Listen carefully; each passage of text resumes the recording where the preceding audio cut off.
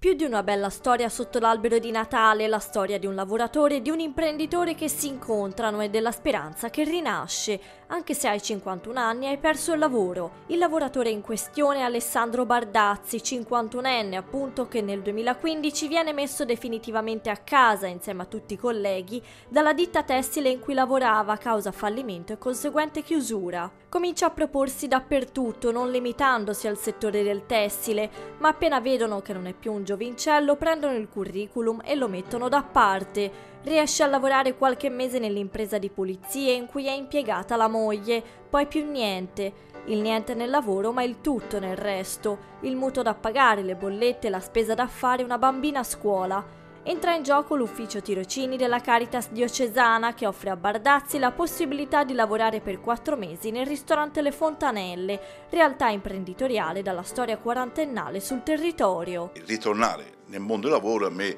mi ha fatto tipo un, un ossigeno perché stare fermo, specialmente una persona di 50 anni o anche un ragazzo uguale, non è che per quell'età, e avendo famiglia, e, insomma gira un pochino le scatoline. Mi ero iscritto alle varie agenzie, però non trovavo sbocchi, diciamo di... sempre trovato sbocchi, nel senso che un mese, due mesi, ma non eh, più di lì non si andava. Non si andava.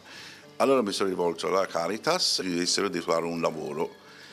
E allora disse, ma eh, che cos'è questo lavoro? Disse, è il mondo del ristorante. E all'inizio disse, ma io non l'ho mai fatto. Dice, ma e pensavo, dice, ma andiamo, proviamo. Io venivo prima nel mondo del tessile e dai tessile andare nel mondo ristorante c'è tanta differenza, diciamo. Per quattro mesi fa il lavapiatti nella cucina dello chef titolare Valentino D'Aloisio. Piano piano, pur provenendo da lavori di tutt'altro genere, impara rapidamente a fare tutto quello che gli chiedono. La versatilità unita all'affidabilità piace ad Aloisio che dopo la fine della borsa tirocinio decide di assumere Bardazzi con un contratto a tempo determinato. La dinamica che si è instaurata al ristorante Le Fontanelle dimostra l'esistenza sia di un meccanismo ben oliato, quello dei tirocini proposti dalla Caritas, sia di imprenditori che pur ripudiando l'attributo di illuminati sanno aprire le porte delle proprie aziende a chi si trova in difficoltà.